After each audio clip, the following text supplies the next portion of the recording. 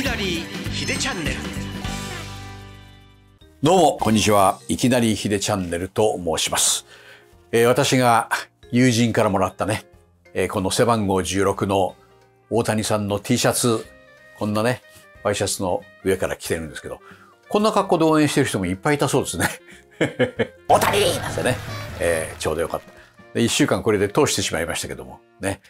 えーまあ、WBC も終わったので、たくさん寄せられているその他のご意見とか、ね、えーいろいろね、ご紹介する週末にしたいと思います。東京マラソン、ね。いや、あれもすごかったですよね。やっぱりね、まあ、久々でね、盛り上がりました。確かに。すごい記録を出した山下選手でしたっけ、えーすごいのが出てきたりなんかして。うん。あの、嬉しかったですよね。だけどね、こんなね、メールが来てるんですよ。ランナーのモラルが問われた大マラソンだと。東京マラソンね。どんなご意見なのかなと思ったら、4年ぶりに開催された東京マラソンですが、道路脇の植栽に立ち小便をするランナーが多数おり。はあ、僕はあの、テレビで全編は見てませんので、えーその瞬間まさかテレビは映さなかったとは思いますけども、まあ、目撃した人はいっぱいいたんでしょうね。立ち小便をするランナーが多数おり、その動画が、ああ、動画か。動画がネットで拡散され、問題となりました。ああ、動画には上げられそうですね。東京マラソンのランナー、ねえ、3万7千人でしたっけ？人数ちょっと忘れちゃいましたけど。またコースの周辺には、脱ぎ捨てられたウェアやゴミも多数散乱して、えーこれもね、ネットに上げられてる。いろいろ話題になってます。東京マラソン当日はいろいろと交通規制がかかり、場合によっては道路を隔てた反対側の道へ行くのにもかなり遠回りになってしまいましたよね。マラソンに興味ない人からすると大変ご迷惑だろうと思いますが、ちなみに日本において立ち小便は軽犯罪法違反に該当する、えーそういうものですよね。いけないですよ、それは立ち小便なんかしちゃ。えーどっかであのいろいろトイレの用意はね、たくさんあったと思いますけども、なんかどうしてもね、我慢できない、そういう人が、ね、植栽に立ち小便をしたりなんかしちゃったんでしょうね、きっとね。うん、これは今度、来年以降のね、一つのテーマになりますね。本当にね。それから、こんなのもいただいております。H3、打ち上がったのは確かだが、え前回は打ち上がらなかったことが失敗、え失敗か中止か話題になった H3 ロケット。今回は打ち上がったものの2段目エンジンが着火せず失敗に終わりました。そうでしたね。H3 ね。今日は15日なんですけども、え昨日のニュースで若田光一さんが5ヶ月ずいぶん長い間いたんですね。宇宙にね。えそれで帰還をされたという。あれ、なんかリハビリがまた大変なんですってね。もう、ほんと、宇宙空間では無重力で、ね、もう筋力がガンガン落ちるらしいんですよね。だからそれを戻すための訓練がですね、大変らしい。だけどまあ、宇宙飛行士という人はですね、本当鋼鉄の意志を持ってますからね。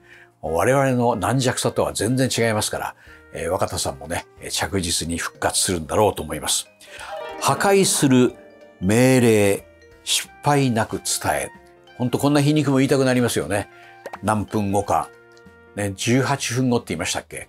ちょっと忘れましたけども、えーこれはダメだって言うんで、えー失敗。その信号はですね、間違いなく伝わったということで、まあ一種の皮皮肉なね、現象ですけどね。二段目エンジンが着火しなかった H3 ロケット。被害が出ないよう出された破壊命令は失敗なく伝わったという皮肉ですという。うん、それからいろいろといただいているね、えーメールの中で、そうですね、これもね、あ毛染駅、銭湯持ち込み、困ったな。こんな川柳。京都の銭湯、初音湯がツイッターに投稿した写真が大変話題になってます。あ、そうですか。私は見てないんですが、投稿されたのは、毛染液が赤カビのように残ってしまったタイルの写真でした。ああ、銭湯で毛を染める液体を使う。ああ、それが落ちてタイルにこびりつく。ちょっとやそっとや取れないようなそんな状況になるんでしょうね。毛染め液が赤カビのように残ってしまったタイルの写真が投稿されたと。この銭湯では毛染め禁止の張り紙をしているそうです。様子を見ていた常連客が毛染め行為をしている人にあかんよと、えー、諭し、番台からも帰り際に注意をしたものの、カラーシャンプーですからとあっさり告げられたとのこと。カラーシャンプーだったらいいということですか？え、銭湯はいろんな人が利用する分、いろいろなことが起こるんでしょう。モラルを意識してマナーを守ってほしいものです。銭湯行ってないな私はね、銭湯は好きなんですよ。3年半のあのコロナの時代はね、銭湯一回も行ってないんですよ。ね。温泉旅館は行きましたけども。銭湯はいいですよね。本当にね。また、え、もうマスクも必要なくなったし、ね、桜も咲いたし、え、銭湯行かなきゃなと思いますね。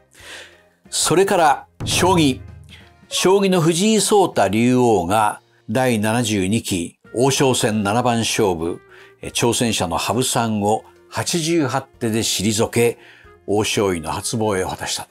ね手数少なかったですよね。88手。世紀の一戦と将棋界内外から大注目を集めたシリーズ成績は4勝2敗で決着。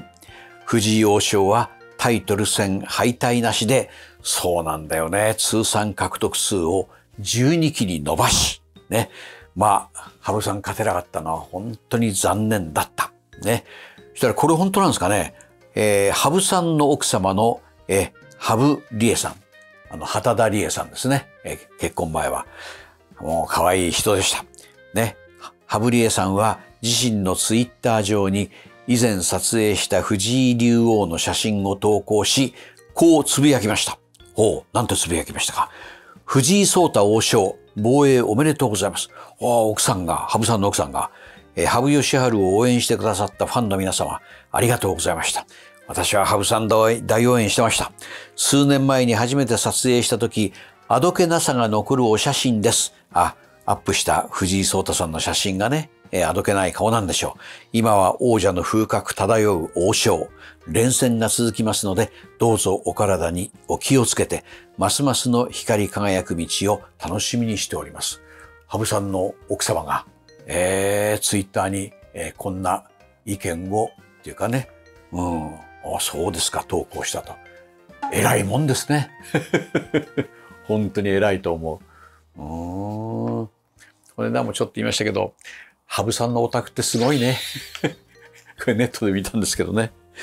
外見だけですけど、ああ、将棋を指してもね、やっぱり、うん、1億円以上稼ぐ人はね、ああ、こんななっちゃうんだ、みたいなことを思いました。で、藤井王将のね、幼さが残った写真もアップされたようですけど、さらに順位戦 A 級を制し、名人初挑戦を決めておりまして、藤井聡太さんね、4月5日からは名人戦7番勝負も開幕します。